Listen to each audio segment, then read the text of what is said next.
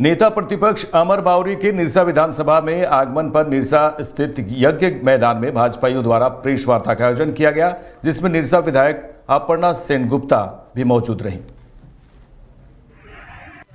प्रतिपक्ष का नेता नहीं मान रहे थे। डर डर है उनका डर है।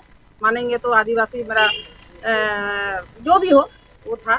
नहीं माने कोई बात नहीं। अभी हम लोग विधायक दल नेता हमारे माननीय हमारे अमर बावरी जी जो विधायक भी हैं और एससी मोर्चा के अध्यक्ष भी हैं प्रदेश के अध्यक्ष। हैं तो उनका जब विधायक दल के नेता बनने के बाद हमारे निरसा विधानसभा में उनका जो स्वागत है उनका जो अभिनंदन है इसी मोर्चा के तरफ़ से हमें बोला गया और हम भी अम, अमर बावरी जी से बात किए कि आइए निरसा विधानसभा आइए और हमारे वहाँ सब क्योंकि हम भी विधायक हैं तो विधायक दल का भी हमारे नेता हैं।